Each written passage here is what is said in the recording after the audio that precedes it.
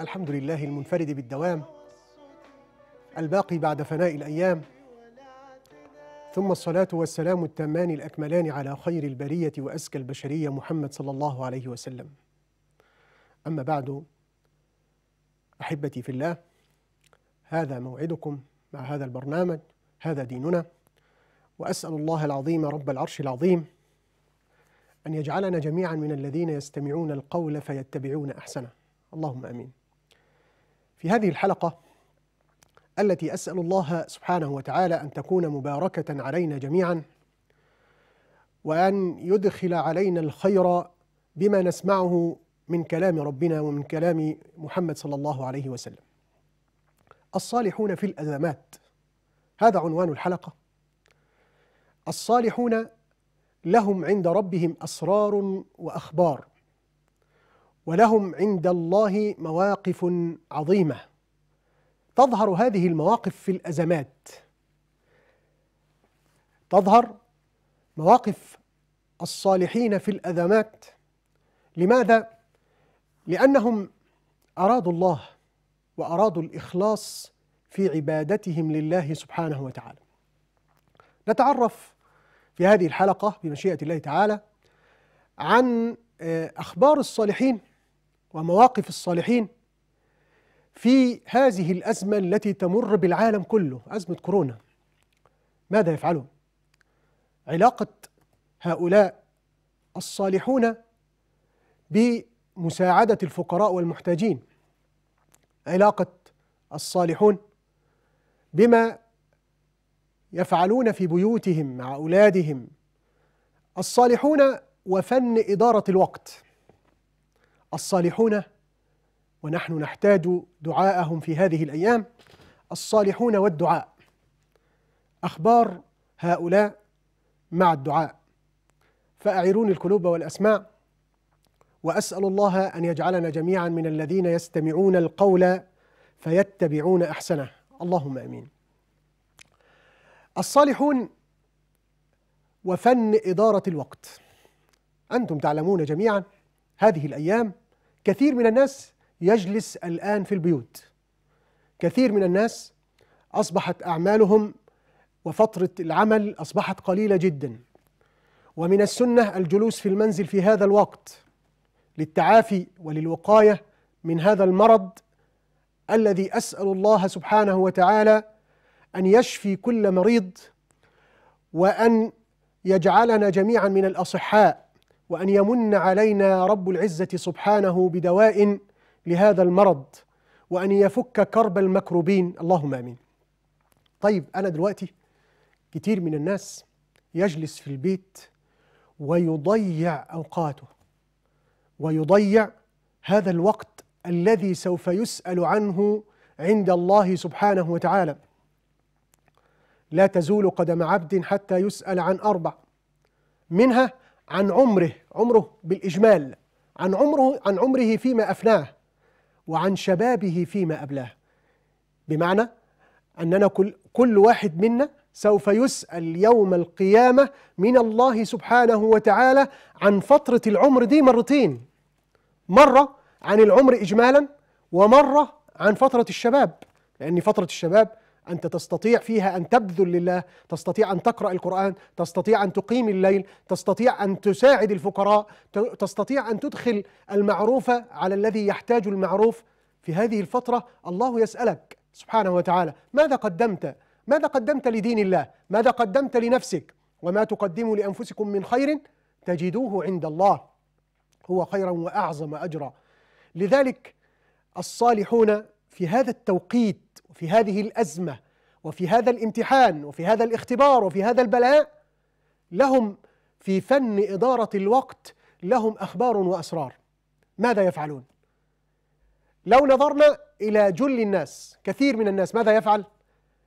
يجلس أمام التلفاز أو يضيع وقته أمام التليفون والواتس واليوتيوب ويبدأ يخش على مواقع لا ترضي الله عز وجل ويضيع وقته بما لا يفيد. لكن لكن الصالحين لا يفعلون هذا ويجدون هذه المحنة فيها منحة من الله عز وجل أنهم يتقربون إلى الله بجل الطاعات يتقربون إلى الله بكثرة العبادات يتقربون إلى الله بالقرآن. هذا التوقيت وقت القرآن والله. وقت القرآن لأن القرآن العظيم هذا القرآن هو النجاة من الفتن. لما أخبر النبي صلى الله عليه وسلم عن الفتن فقالوا ما النجاة منها يا رسول الله؟ قال عليكم بكتاب الله. كتاب الله حبل الله المتين. هذا الكتاب فيه نبأ ما قبلكم وخبر ما بعدكم وحكم ما بينكم وهو الصراط المستقيم. إذا أردت الصراط المستقيم الذي تدعو الله عز وجل في كل ركعة. في سورة الفاتحة اهدنا الصراط المستقيم عليك بكتاب الله. فكتاب الله هو النجاة من الفتن هو النجاة من الاختبار هو الذي ينجيك الآن أن ترجع إلى كتاب الله وترجع إلى الوحي.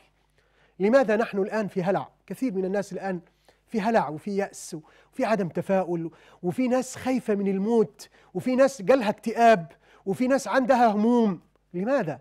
لأن الناس بعدت عن القرآن لو رجعنا إلى الوحي وهذا الوحي فيه هداية للناس والنبي صلى الله عليه وسلم يخبرنا كما في الصحيح من حديث عثمان رضي الله عنه قال خيركم من تعلم القرآن وعلمه ما معنى هذا؟ معنى هذا أن الخيرية في أمة محمد صلى الله عليه وسلم وهي أمة القرآن الخيرية فيها أن تعلم الناس القرآن وأن تتعلم القرآن. فجعل النبي صلى الله عليه وسلم الخيرية في أمرين أنك تأخذ القرآن وأنك تعلم الناس القرآن.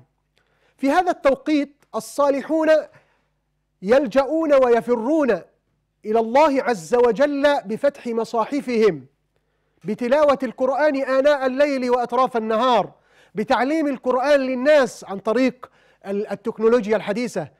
بدل ما تستخدم التكنولوجيا الحديثة في أمور لا ترضي الله عز وجل استخدمها. اعمل حلقات على على على على البرامج وعلى هذه التكنولوجيا لتعليم الناس ولإدخال الخير على الناس ولربط الناس بكتاب الله عز وجل.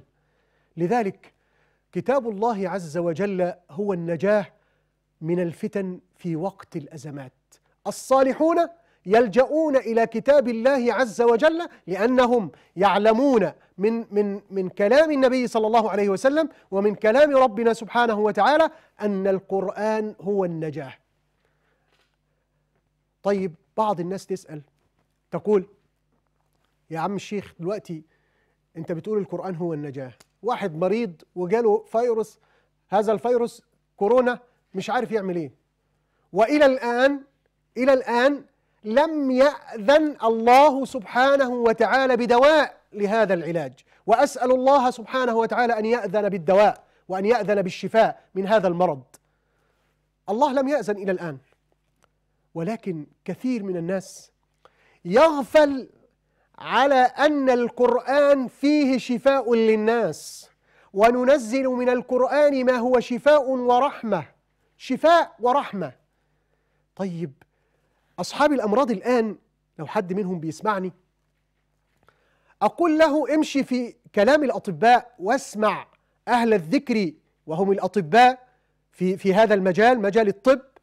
ولكن تعلق ويتعلق قلبك بالله عز وجل وبكتاب الله. الله يقول وننزل من القرآن ما هو شفاء ورحمة.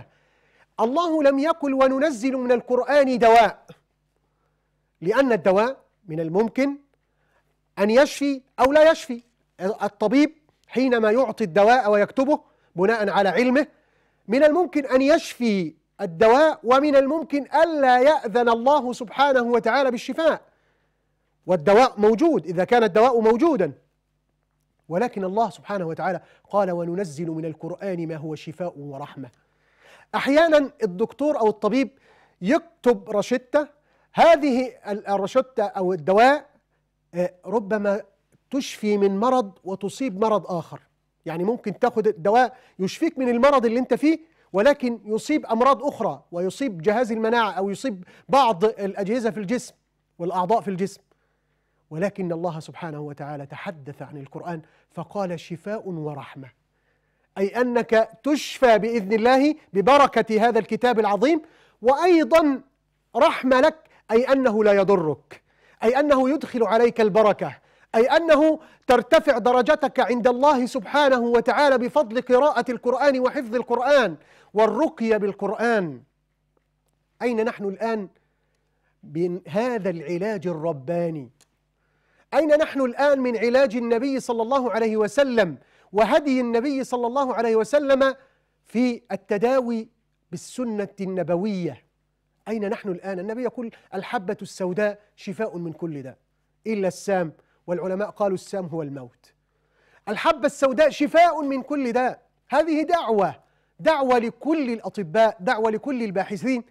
أن يرجعوا إلى سنة النبي صلى الله عليه وسلم إلى هدي النبي صلى الله عليه وسلم النبي صلى الله عليه وسلم أمرنا بالحجامة وكان النبي صلى الله عليه وسلم في رحلة الإسراء والمعراج كلما مر على قوم من الملائكة كلما مر على ملأ من الملائكة قالوا له مر أمتك بالحجامة أين نحن من الحجامة؟ أين نحن من العلاج النبوي؟ الآن كل الناس التركيز كله على إن هم يجدوا مصل أو لقاح لعلاج هذا المرض. أقول هذا أمر محمود. هذا أمر جيد. ولكن لماذا لا نمشي في الطريقين مع بعضهما البعض؟ ليه ما نمشيش في الطريقين مع بعض؟ نمشي في طريق العلاج الرباني والعلاج النبوي من سنة رسول الله صلى الله عليه وسلم ومن كلام الله وبالرقية بالقرآن وبالسنة والعلاج بالذكر والتحصين بالذكر ونمشي أيضا في البحث والتحري عن علاج لهذا المرض. هذا المرض الذي احتارت فيه الدنيا. لا أقول بلد ولا أقول مجموعة من الناس بل احتار العالم أجمع. في فيروس لا يرى بالعين المجردة. فيا ربي أنت الآن أردنا ورأينا القوة الإلهية في أن مهما بلغ الناس من علم ومهما تجبر الناس بعلمهم وبالتكنولوجيا الحديثة لا يستطيعون أن يكتشفوا علاجا لمرض ولفيروس لا يرى إلا بالمكبرات لا يرى بالعين المجردة. أمر مجهول لا نراه أمام أعيننا وأصبح الناس الآن في العالم كله في رعب. لماذا لا نلجأ إلى الله؟ لماذا لا نلجأ إلى الله سبحانه وتعالى ونحن نعلم علم اليقين أن كل شيء بيد الله وأنه إذا أراد أن يقول لشيء كن فيكون سبحانه وتعالى. الملك كله بيديه والخير في يديه سبحانه وتعالى. نلجأ إلى الله سبحانه وتعالى. الصالحون في هذه الأزمة يلجؤون إلى الله بالقرآن. يلجؤون إلى الله سبحانه وتعالى بأنهم يتعلمون ويعلمون. طيب هل للقرآن فضل عظيم؟ نعم. خذ هذه الأحاديث التي تبين عظمة القرآن. إذا تعلمت أو علمت أولادك. النبي صلى الله عليه وسلم يقول كما قال الطبراني والإمام السيوطي رحمه الله قال أدبوا أولادكم على ثلاث خصال. حب نبيكم. علموا أولادكم يحبوا رسول الله. أين نحن الآن من بدل القصص آه، التي يراها الأطفال في التلفاز التلفزيون وعلى اليوتيوب وعلى غيرها؟ أين نحن الآن أن نبدل هذا الأمر بأن نحكي لهم قصص وسيرة النبي المصطفى صلى الله عليه وسلم؟ ولنا فيها العبرة ولنا فيها العظة. أدبوا أولادكم على ثلاث خصال حب نبيكم وحب آل بيته وتلاوة القرآن. وتلاوة القرآن. فإن حملة القرآن في ظل في ظل الله يوم لا ظل إلا ظله مع أنبيائه وأصفيائه. ما هذا الجمال؟ أدبوا أولادكم على القرآن. أدبوا أولادكم إن هم يتعلموا كتاب الله عز وجل. وهل ينفع إذا قرأ الولد القرآن ينفع والديه؟ نعم إنه يلبس والديه تاج ضوءه أحسن من ضوء الشمس والقمر.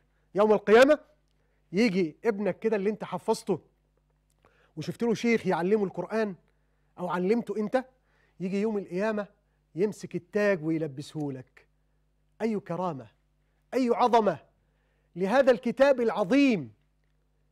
أدبوا أولادكم على حب نبيكم وحب آل بيته وحب قراءة القرآن.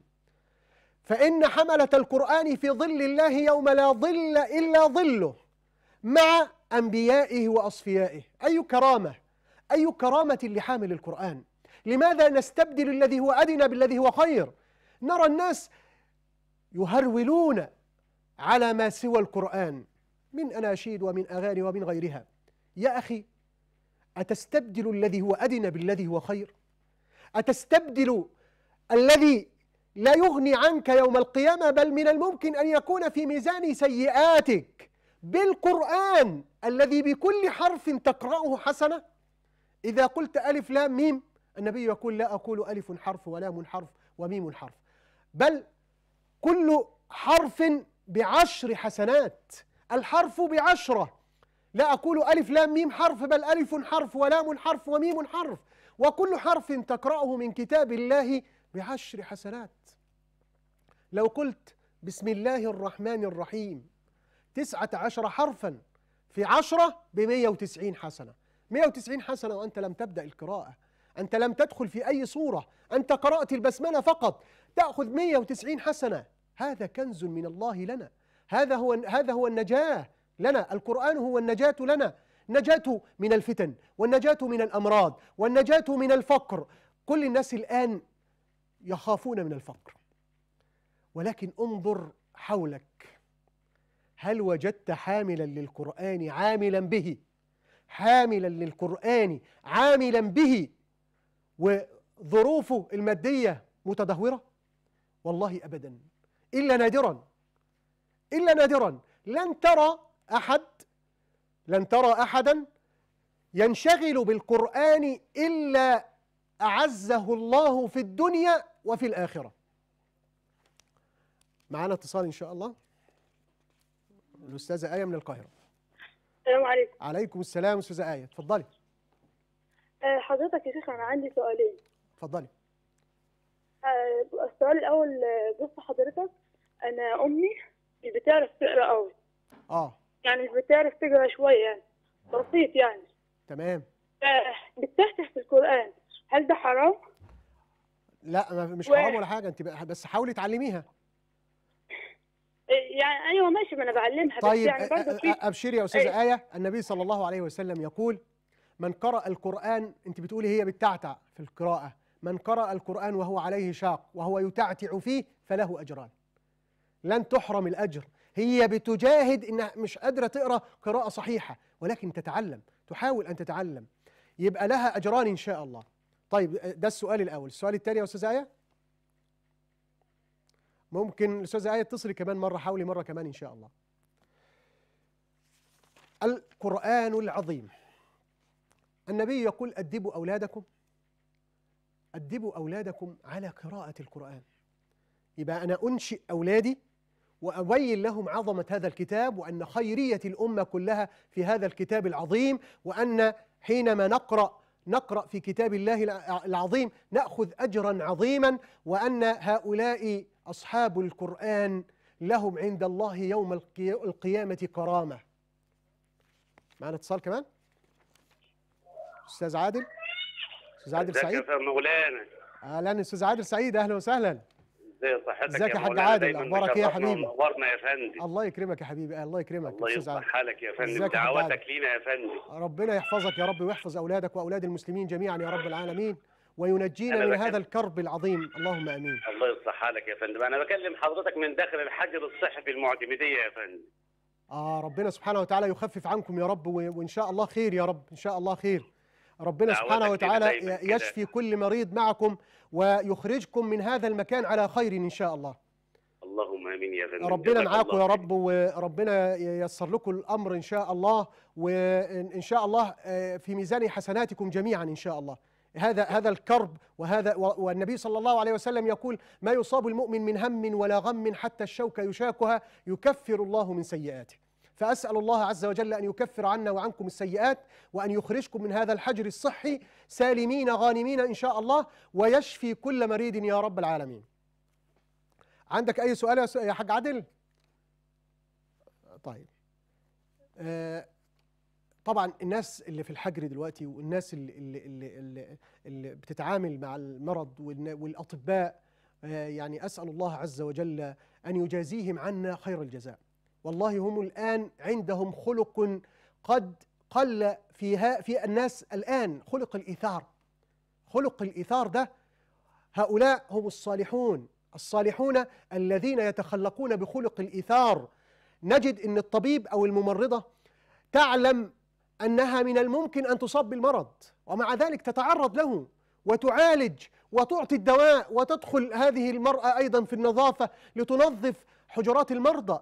أي إثار هذا؟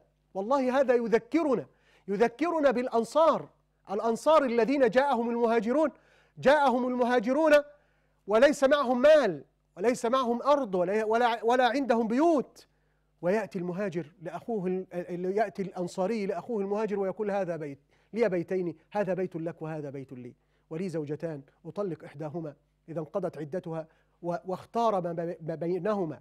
اختار الزوجة التي تعجبك وأطلقها وتتزوجها. قمة الإيثار هذا والله نراه الآن نراه الآن في الأطباء. ونرى أمام أعيننا أن كثير منهم الآن يموت في العالم وفي مصر ولسه الطبيبة اللي اللي حزن القلب حزن القلب وأدمع القلب على فراق هذه المرأة الصالحة التي أسأل الله عز وجل أن ينجيها وأن يدخلها الفردوس الأعلى.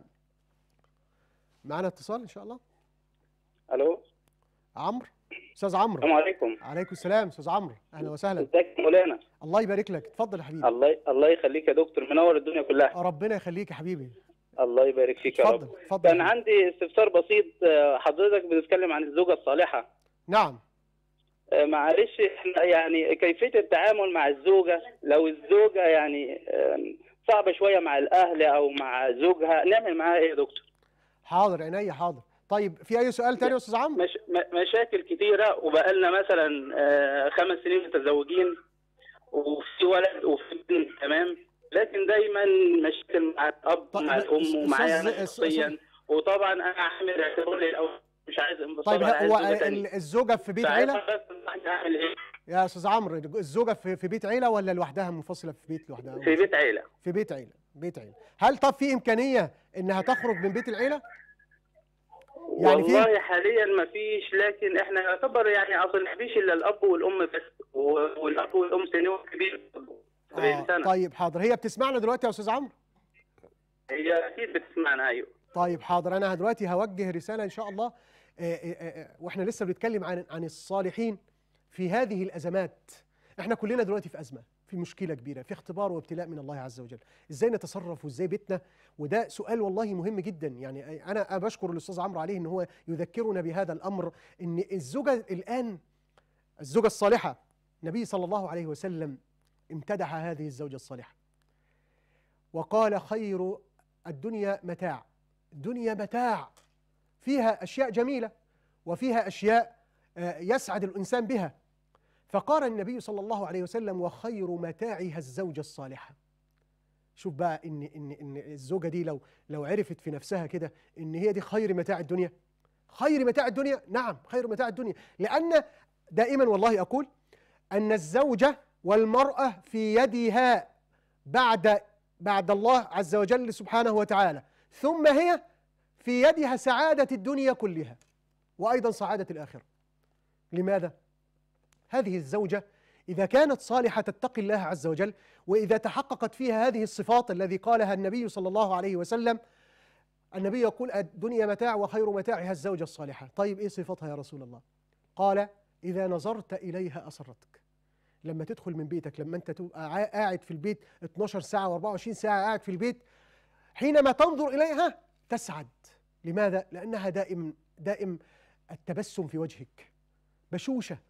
بتضحك مش مش مكشرة طول الوقت مش خايفة من من فوات الرزق مش خايفة إنها تجوع مش خايفة إن إن إن إن حد يتكلم عليها ويقول إن هي كذا وإن هي كذا لا هذه مرأة صالحة كلما نظرت إليها أسرتك وإذا أمرتها أطاعتك لما ت- تأمرها بطاعة لما تأمرها بمعروف ولا طاعة إلا في معروف. لما تقول لها حاجة ليس فيها معصية تقول سمعا وطاعة. تلبي لك هذا الأمر. إذا أمرتها أطاعتك وإذا أقسمت عليها أبرتك. لما تحلف عليها توفي حلفانك. مش تيجي من وراك وت- وت- وتعمل الحاجة اللي أنت حلفت عليها. هذه معنا اتصال آخر؟ آه، أم أحمد حاجة أم أحمد؟ السلام عليكم. السلام عليكم. عليكم السلام يا أم أحمد. أهلا وسهلا. أهلا وسهلا. آه اتفضلي. عندي ارفعي بس الصوت يا أم أحمد شوية. اتفضلي يا أم أحمد لو سمحت أنا عندي بنت أنا عندي بنت عندها 12 سنة بس تصلي يوم ويومين لا. طيب هي بتسمعنا يا أم أحمد دلوقتي؟ لا آه. طيب حاضر أنا هوجه لها رسالة دلوقتي إن شاء الله وأقول لحضرتك حاضر إن شاء الله. عندها كام سنة يا أم أحمد؟ عندها 12 سنة. 12 سنة؟ آه. ما شاء الله ربنا يحفظها يا رب وي- ويجعلها من من مقيم الصلاة. اللهم آمين. حاضر يا أم أحمد. أي سؤال تاني؟ لا شكرا. نعم؟ لا شكرا. طيب اتفضلي. معانا اتصالات تاني؟ طيب إحنا إحنا كنا بنتكلم على الأستاذ عمرو لما قال لي الزوجة الصالحة والمشاكل والبيت يعني أنا بقول لها لو انت أيتها الزوجة إن شاء الله أسأل الله أن تكوني صالحة. لو طبقت كلام النبي صلى الله عليه وسلم إذا نظر إليها أسرت واذا أمرها أطاعت وإذا أقسم عليها أبرت وإذا غاب عنها حفظته حفظته في ماله وفي عرضه الأربع حاجات دول لو المرأة عملتهم إن شاء الله تكون ز- زوجة صالحة تدخل السرور على الأولاد وتدخل السرور على الزوج. و و ودايما الزوجة آه بقول هي مفتاح السعادة. يعني هي تنظر للأب والأم أبو الزوج وأم الزوجة إن دول زي أبوها وأمها. لو اتعاملت من هذا المنطلق ومن هذا المبدأ إن دول دول ده أبويا لو عمل أي حاجة أنا هسامحه. ده أبويا. إزاي إن أنا إن أنا إن أنا أقول له كلمة تزعله؟ إزاي إن أنا أكشر في وشه؟ إزاي إن أنا ما, ما أبقى زعلانة منه؟ لا لا ده أبويا. والست دي أمي. يعني أمي أم الزوج وهي هي الأب والأم هم سبب بعد بعد الله سبحانه وتعالى سبب وجود هذا الزوج. ولولا هذا الأب وهذا الأم لولا هذا الأب وهذا الأم ما جاء هذا الرجل الذي الذي تزوجتيه. فلازم إكرام. والنبي صلى الله عليه وسلم يقول إن من إجلال الله. من عظمة ربنا من توقير الله. إنك أنت لما توقر الله عز وجل من إجلال الله إكرام ذي الشيبة إكرام ذي الشيبة المسلم. أيوه. أم منى أو- آه، أم منى من جنوب سيناء. يا أهلا يا أهلا ومرحبا الله يخليك. أعزهم الله. الله يخليك. اتفضلي يا أم منى أنا ليا أخت بصراحة هي اتطلقت من جوزها دلوقتي ومعاها ثلاثة بس هو ظلمها كتير بصراحة أهانة وعنده أمه بكل حاجة في الدنيا. طيب هي طلقت ولا لسه على ذمته؟ لا هي اتطلقت دلوقتي من ثلاث شهور. ربنا يحسن إليها إن شاء الله. ربنا عارفة خير. هي عملت حاجة بس هو كان ظالمها ظالمها يعني ظلم مم. مش عارفة إن أنا عمالة أقنع فيها إنها ترجع ما هيش راضية. طيب في ناس اتدخلت طيب للصلح؟ كتير اتدخلوا والله بس هي خلاص قالت هو هني وقال لها أمي عندي بكل حاجة في الدنيا. طيب ما هي الأم فعلا كل حاجة بس هو لابد يكون عادل. يعني يكون عادل بين بين هو- المعاملة مع الأم ومع الايه ومع الزوجة. يعني ما يعني ما يجيش على الزوجة عشان خاطر أمه ولكن هو يحاول بقدر الإمكان بحكمة وبموعظه حسنة كده انه طيب ال ال هل في حاجة غير موضوع الأم؟ في هي كانت حامل فأنت عارف إن إحنا فلاحين وكده. فبقت أمي تقول لها لو أنت حامل أنا هنزل لك اللي في بطنك. فهي نكرت خالص إن فيها حمل أصلا.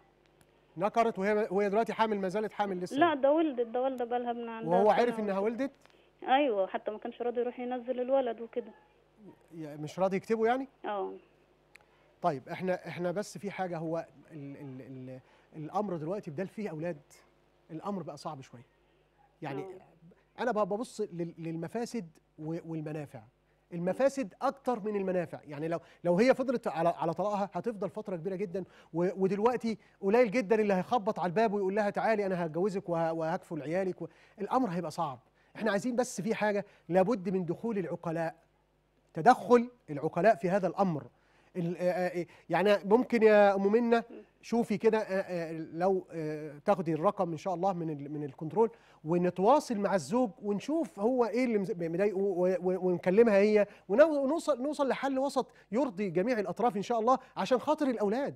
هي آه، ال- الحاجة صفا من دمياط. السلام عليكم. عليكم السلام. حي الله أهل دمياط. آه، وحياك يا شيخ. الله يكرمك. بقول لحضرتك. عاوز أسأل سؤال وادعي دعاء انا ربنا عاوز يبارك لك أسأل على الحديث اللي النبي قال فيه لسيدنا بلال يا بلال إني سمعت دفا عليك في الجنة آه. طب أنا ماشية على الوضوء بس ما بصليش بعد الوضوء ولازم عشان أمشي على الحديث بالظبط آه، لازم أصلي بعد كل وضوء ركعتين ما هو هو ال- ال- ال- الحديث بيقول إن هو كل كل ما أحدث توضأ وكل ما توضأ صلى لله ركعتين. فأنت لو اقتديتي ب- بسيدنا بلال آه، رضي الله عنه بإنك أنت كل ما تتوضي تصلي ركعتين ولو خفاف. بس في يعني- أوقات آه، في أوقات فيها أوقات منع. يعني بعد العصر ما تصليش. يعني بعد صلاة العصر للمغرب ما تصليش. بعد الفجر لغاية طلوع الشمس بربع ساعة نعم. ما تصليش. إلا صلاة السبب يعني لو عندك صلاة السبب مثلا صلاة استخارة أو تحية مسجد أو الكلام ده لا إيه، صلاة السبب ما فيهاش مشكلة. لكن في الوقت ده يعني الوقت بالليل اتوضيتي صلي لله ركعتين والركعتين دول عند الله سبحانه وتعالى لهم أجر عظيم. ادعي يا شيخ لو آه، سمحت. اتفضلي اتفضلي. اللهم سهل لنا كل عسير اللهم آمين. وارزقنا الأمن والأمان. اللهم آمين. واحمينا من كل داء. اللهم ووفقنا بالأنس بك يا رحيم يا رحمن. اللهم وأسألك يا الله أن تفرج عنا كل كرب. اللهم وتشفينا من كل ضر اللهم وتشغلنا بالذكر والشكر في كل وقت. اللهم وأسأل الله القادر أن يرفع عنا كل بلاء. اللهم ويسعدنا بصلاح البال. ويغنينا ويعيننا على أحسن الأخلاق. اللهم ويغفر لنا جميع الأوزار. وأسأل الله الكريم الحليم أن يحقق لنا الخير والفضل في أنحاء الأرض. اللهم آمين يا رب. ويلهمنا الصبر على قضائه وقدره اللهم وينعم علينا بالعافية في الحياة الدنيا. اللهم ويكرمنا برحمته وجنته فهو الحنان المنان. اللهم اللهم آمين. آمين يا رب جزاكم العالمين الله خيرا على هذه الكلمات الطيبة. وأسأل الله عز وجل أن يتقبل منك هذا الدعاء. اللهم أمين. ربنا يحفظك يا رب يا أستاذة صفا. ومعانا الأستاذة هدى من دمياط وحي الله أهل دمياط. ربنا يحفظكم الله يا شيخ. ربنا يحفظكم جميعا يا رب ويحفظ المسلمين ويحفظ العالم كله يا رب العالمين. آمين يا رب العالمين. ما تنسانا في شيخ في الدعاء. ربنا يحفظك يا رب ربنا يحفظك. اتفضلي. لو سمحت أنا عايزه أسألك يا شيخ عن صلاة الضحى. آه صلاة الضحى. أنا مش منتظمه فيها أحيانا أصليها واحيانا لأ. هي الأوابين. اسم؟ صلاة الضحى صلاة الأوابين. يعني يعني صلاة صلاة عظيمة من سنة رسول الله صلى الله عليه وسلم ركعتين أو أربعة أو ستة أو س... يعني يعني لها ست ركعات آه، أربع ركعات آه، ركعتين صلاة الضحى صلاة آه، جميلة و- وسنة عن النبي صلى الله عليه وسلم والنبي صلى الله عليه وسلم قال كل سلامة من الناس عليه صدقة. يعني المفاصل بتاع الجسد العلماء يقولون أن صلاة الضحى هي شكر لله عز وجل على مفاصل الجسد. ال- ال- المفاصل بتاع الصوابع والأنامل وال- والعظام. المفاصل اللي في جسمك كله قالوا إن حوالي 360 مفصل. لو أنت ما قدرتش تطلع أو تخرج صدقة عن كل مفصل في جسمك وتشكر الله عز وجل ممكن تصلي صلاة الضحى فهي تغني وت- وتشكر الله عز وجل بها. آه. زي الفرض هي لازم تنتظم لا لا لا مش فرض هي سنة لا سنة ولا- سنة عن النبي صلى الله أنا عليه وسلم. عارفة أنا عارفة إنها سنة آه. بس يعني لازم أنتظم فيها كل يوم كل يوم كل يوم الساعة 9 كل لا يوم. لا مش لازم ولا يوم آه ويوم لا لا، لما لا. بحس نفسي فايقه والله والله على قدر استطاعتك. ده هي سنة عن النبي صلى الله عليه وسلم. آه، آه، آه، حال الاستطاعة. يعني أنت لو أنت نظمت وقتك إن أنا صلاة الضحى دي شكر لله على كل مفاصل الجسد وخدتيها من المبدأ ده إن أنت بتشكري الله سبحانه وتعالى ليحمي الجسد هذا ويحمي مفاصل الجسد من أي أمراض و- وخدتيها أنها سنة عن رسول الله صلى الله عليه وسلم. هتتعودي وهتصبح العادة عبادة وإن شاء الله آه، أسأل الله أن تستمري على هذه العبادة العظيمة. يعني. آه اتفضلي. تمام تمام. طيب أنا يعني في في يعني إحنا خلاص قدامنا حوالي خمس دقائق إن شاء الله. الخمس دقائق دي دي عايزين بس كده إن إحنا في هذه الأزمة نتعامل تعامل الصالحين. الصالحين في الأزمة بيقرأوا قرآن عاملين ورد قرآني كل يوم. وفي بعض الناس بتختم كل عشرة أيام ورد قرآني كل يوم. وأبدأ أعلم اولادي القرآن أجتمع على مأدبة القرآن. أنا وأولادي كده كل واحد يقرأ صفحة من الأولاد ونعمل جلسة قرآنية. الأمر الثاني أعلم أن القرآن شفاء. فأبدأ أقرأ الرقية حتى لا أصاب بأي مرض. أقرأ رقية آه، آه، الفاتحة آية الكرسي. قل هو الله أحد قل أعوذ برب الفلق قل أعوذ برب الناس على مية وأشرب منها أو إن أنا أسفل في إيدي وأقرأ وأمسح بهم جسمي وأنا خارج للشغل أو خارج لأي مكان آه، آه، آه، في أذكار الصباح والمساء عندي أعوذ بكلمات الله التامات من شر ما خلق بسم الله الذي لا يضر مع اسمه شيء في الأرض ولا في السماء وهو السميع العليم. آه، آه، أذكر هذه ال- الأدعية وهذه الأذكار صباحا ومساء والنبي صلى الله عليه وسلم يقول من نزل منزلا وقال أعوذ بكلمات الله التامات من شر ما خلق لم يضره شيء حتى يخرج من منزله هذا أو كما قال النبي صلى الله عليه وسلم أنا رايح الشغل أو رايح مشوار رايح مواصلات رايح أشتري خضار رايح السنتر رايح رايح أعمل أي مصلحة. وأنا خارج أقول أعوذ بكلمات الله التامات والنبي يقول لا يضره شيء حتى يرجع من منزله ذلك. آه، عندي كمان الحبة السوداء شفاء من كل داء. النبي صلى الله عليه وسلم قال الحبة السوداء شفاء من كل داء. عندي الدعاء والدعاء هو العبادة والدعاء مخ العبادة. والدعاء وقال ربكم ادعوني أستجب لكم لا نستهون. النبي قال الدعاء سلاح المؤمن وعماد الدين ونور السماوات والأرض. ولا يزال الرجل في خير حتى أنه يدعو الله عز وجل. ما لم يدعو بإثم أو قطيعة رحم. يستجاب للعبد ما لم يدعو بإثم أو قطيعة رحم. دعوة الوالد لولده. دعوة الوالد لولده. النبي صلى الله عليه وسلم قال ثلاث دعوات لا ترد.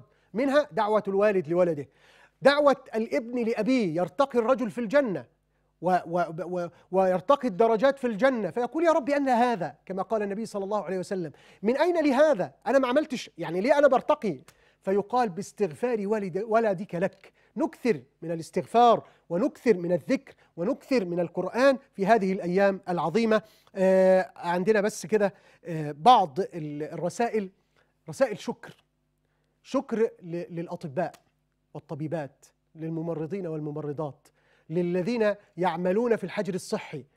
شكر عظيم لهم. أسأل الله عز وجل أن يجازيهم عنا خير الجزاء. أسأل الله عز وجل أن ينجيهم من كل بلاء. وأن يجعل هذا العمل الذي فيه إيثار وفيه حب وفيه تضحية يضحون بحياتهم من أجل المرضى فأسأل الله عز وجل أن ينجيهم وأن يحصنهم وأن يغفر لهم وأن يجازيهم عنا خير الجزاء. وبشكر آه، كل العاملين في هذه القناة آه، الإعداد أستاذ حمدي أحمد والمخرج والناس اللي خلف الكاميرات أقول لهم جزاكم الله خيرا على هذا العمل وأسأل الله عز وجل أن يكون هذا العمل في ميزان حسناتكم وأسأل الله لكم جميعا الحفظ والوقاية من كل شر. أسأل الله لكم جميعا الحفظ والوقاية من كل شر. اللهم آمين. آه، ندعو الله عز وجل في هذا التوقيت وفي هذه الساعة لعلها تكون ساعة إجابة اللهم لك الحمد كله ولك الشكر كله وإليك يرجع الأمر كله علانيته وسره. اللهم صل على سيدنا محمد في الأولين وفي الآخرين وفي الملأ الأعلى وفي عليين. اللهم اهدنا فيمن هديت. اللهم اهدنا فيمن هديت. اللهم تولنا فيمن توليت. اللهم أنزل علينا رحماتك. اللهم أنزل علينا رحماتك. اللهم أنزل علينا الرحمات يا رب العالمين. اللهم نجنا مما نحن فيه.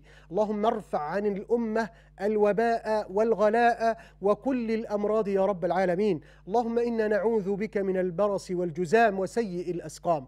اللهم فك عنا كل هذا الكرب يا رب العالمين. اللهم فك عنا هذا البلاء يا رب العالمين. اللهم اشف كل مريض يا رب العالمين.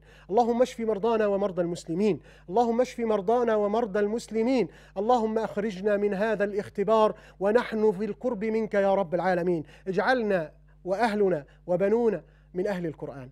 اللهم اجعلنا من وبنين وبنينا وأهلينا من أهل القرآن فهم أهلك وخاصتك يا رب العالمين. اللهم ارزقنا الإخلاص اللهم ارزقنا الإخلاص. وآخر دعوانا أن الحمد لله رب العالمين. وجزاكم الله خيرا. وأسأل الله عز وجل أن ينفعنا بما علمنا ويعلمنا ما ينفعنا ويزدنا علما. والسلام عليكم ورحمة الله تعالى وبركاته.